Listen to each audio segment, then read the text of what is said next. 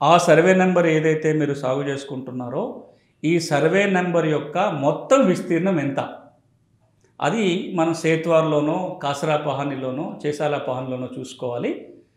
ఇప్పుడు ధరణి ప్రకారం మొత్తం విస్తీర్ణం ఎంత ఉంది? ఆ విస్తీర్ణం మ్యాచ్ అవుతుంది లేదా?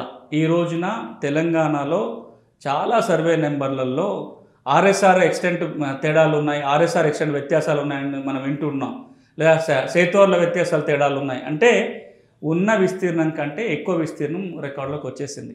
అది సరి చేయకపోతే సమస్యలు అవుతాయి.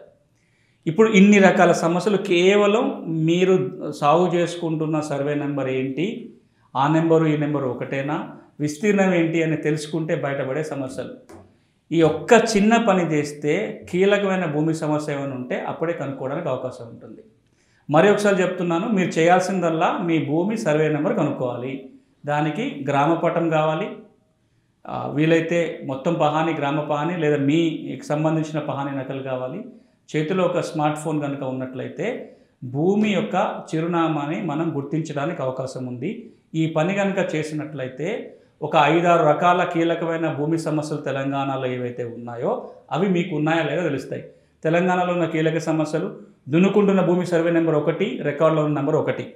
ఇదొక సమస్య. దీన్ని వైవట్ కబ్జా అని కూడా అంటాం. రెండో సమస్య ఎక్కువ తక్కువ విస్తీర్ణాలు ఉండటం. అంటే మీరు దున్నుకుంటున్న విస్తీర్ణానికి రికార్డులో ఉన్న విస్తీర్ణానికి తేడాలు. మూడు ఆ సర్వే నెంబర్లో ఆర్ఎస్ఆర్ విస్తీర్ణానికి యాక్చువల్ ఇప్పుడున్న రికార్డు విస్తీర్ణానికి వ్యత్యాసాలు ఉండటం.